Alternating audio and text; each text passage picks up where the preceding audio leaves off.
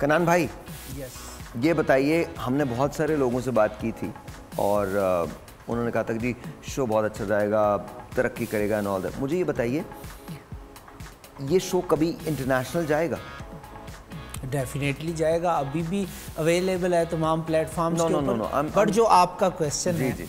Yes मैंने आपको जैसे बताया ना कि ये अभी जुलाई अगस्त से आपका शो जो है वो बूस्ट पकड़ेगा तो उसके बाद इसके मज़ीद लक्की टाइम चल रहेगा नेक्स्ट ईयर इसका काफ़ी लक्की है। तो डेफिनेटली ये शो जो है वो नए रिकॉर्ड्स कैम करेगा रेटिंग में।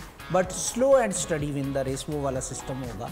एकदम से कुछ नहीं होने वाला। नहीं नहीं एकदम से हो गया है तो क्या और क्या होगा? हाँ। आप अपनी बात कर रहे हैं आपका नाम ही काफ़ी है। मेरे इंडियन पेशेंट्स हैं यकीन करें वो आपको इस शो पे भी वॉच कर रहे हैं। Seriously yes that's really good नहीं हमारे इस शो ने तो काफ़ी शोज़ को परेशान किया।